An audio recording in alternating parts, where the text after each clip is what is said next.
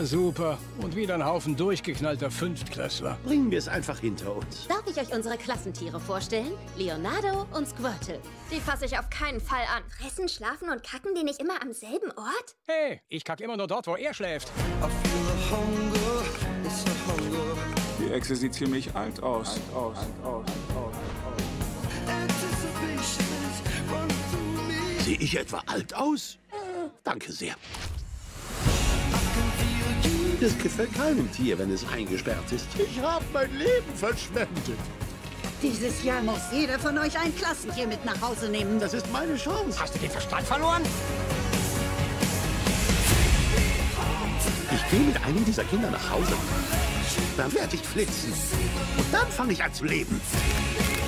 Es geht los.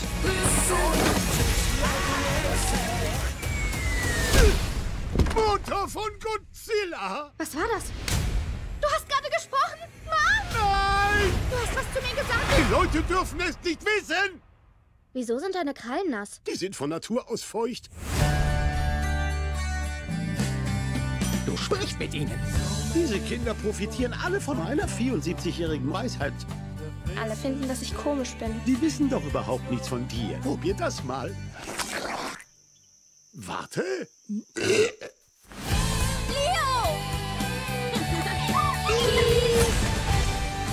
Erstes? Eigentlich wächst das vorne, aber egal. Du wirst erwachsen. Nein, nein, nein. Es ist mein Vater. Äh.